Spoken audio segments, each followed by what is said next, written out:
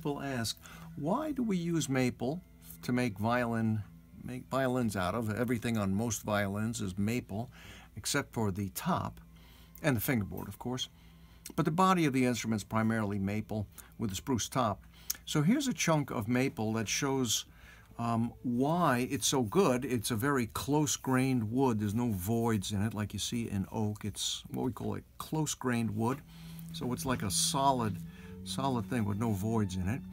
And it also has this very beautiful flame, which people often ask about.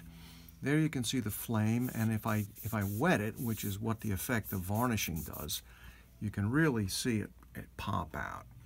So where does that undulation come from? It comes from the grain itself. This is the exterior of the tree right beneath the bark. And the grain of the wood is undulating.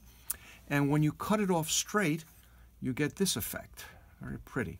Now here's the, the sides uh, you can see the this is the flames that you would see on a violin back if it were joined up like that. And that wood, when it's not planed, you can see has quite a undulating texture. So the, the grain is actually going up like a twisting spaghetti. And where this comes from, when the tree grows, it'll be cut down and the trunk will be cut into uh, lengths that correspond to the length of a violin, viola, cello, bass.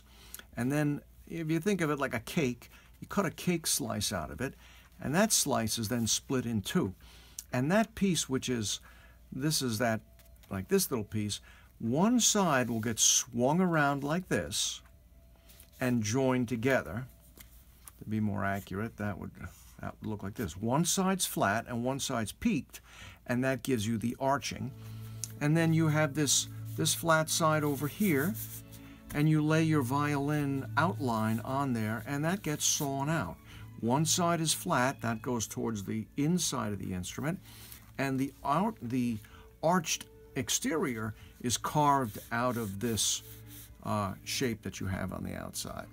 And that's where you get the arching from, and that's where the, the beautiful flames and figure of the wood comes from comes from the nature of the tree.